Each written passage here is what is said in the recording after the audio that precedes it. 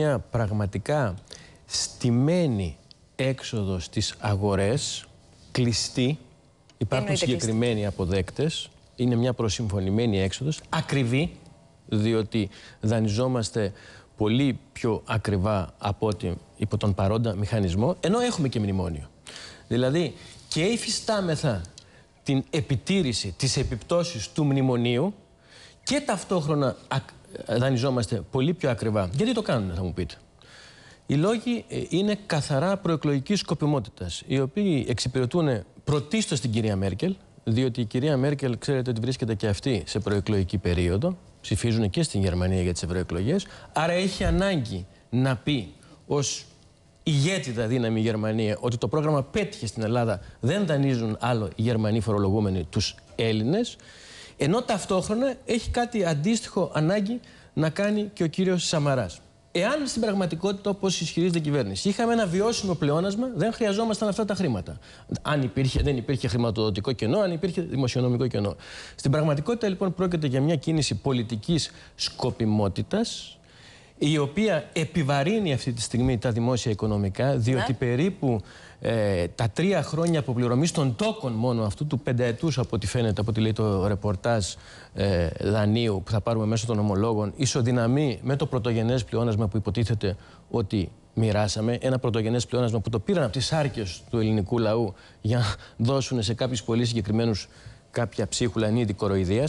Κυρίως όμως πολιτικά είναι μια επιζήμια κίνηση, διότι στη δεδομένη στιγμή που είχαμε όφελος εμείς να ανοίξουμε το θέμα της βιωσιμότητας του χρέους, διεκδικώντας το κούρεμά του, δίνουμε την ψευδέστηση ότι η χώρα μπορεί να δανείζεται έστω και ακριβά, άρα δεν υπάρχει ανάγκη να δούμε το θέμα του κουρέματος.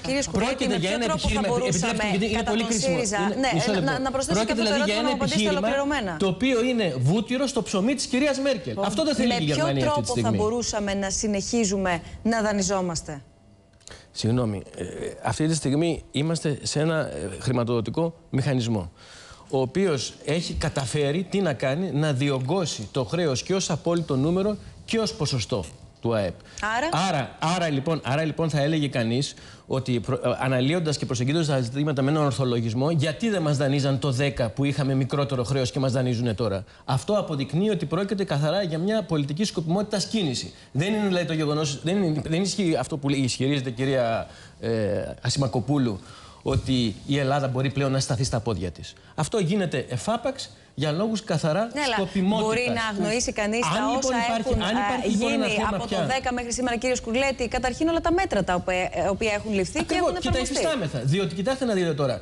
Ε, μια άλλη δευτερεύουσα σημασία, μάλλον έχει πρωτεύουσα σημασία σκοπιμότητα, είναι ότι θέλουν να αποκρύψουν ότι το φθινόπωρο πηγαίνουμε για ένα νέο μνημόνιο, αυτό το οποίο θα καλύψει το λεγόμενο ε, δημοσιονομικό κενό. Πρόκειται για μέτρα της τάξης 4,5 με 5 δισεκατομμυρίων. Νομίζω ότι ήταν πολύ κατατοπιστικά τα ρεπορτάζ αλλά και η ανάλυση των αριθμών που είδαμε το Σαββατοκύριακο. Λοιπόν, ένα, ένα, Άρα όλα αυτά πρέπει να σκεπαστούν Επειδή έχουμε ακούσει τρία άχ από την κυρία Σιμακοπούλου να τοποθετηθεί και να ακούσουμε.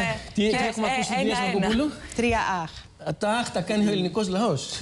Ναι, βεβαίως. Αλλά θα κάνει αχ και τώρα που τα ακούει αυτό. Αλλά με